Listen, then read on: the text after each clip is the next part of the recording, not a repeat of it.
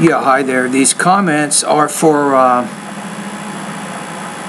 Manya, and I am Michael, the founder owner and the materials writer for all of your lessons at the seven step system to pass a TOEFL IBT. So, uh, in your situation, you said, I'd like to clarify something. I'm writing essays every day, but I'm not in the step of your course that is reserved to the writing. Can I send you my essay anyway?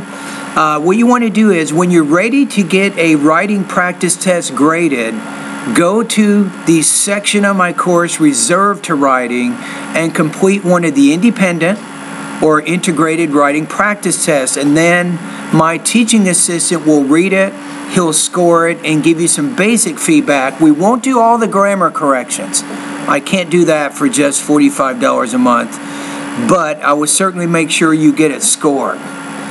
So that's that's how you want to do that. Now you say I will not be able to finish all your steps before I take the test again.